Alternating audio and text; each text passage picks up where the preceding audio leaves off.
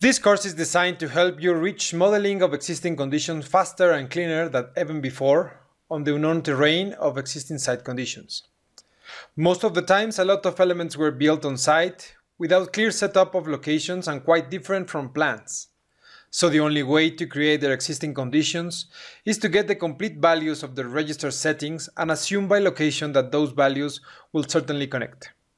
With Dynamo and Dynamo Player, we can create a complete set of elements created just for data, opening the possibility of model creation by numerical controls, and also integrating better of future circumstances to generative design. It's an incredible opportunity to get access to workflows and open your possibilities to speed up your processes as well as for your partners or co-workers. BIM is now on a second digital revolution where communications skills and programming will create a different value to construction and infrastructure BIM projects. The core stream will be reflected in responses and computer analysis rather than handmade models. This course is part of a series of MEP modeling with Dynamo series that certainly will become a complete collection of tools that can change modeling processes.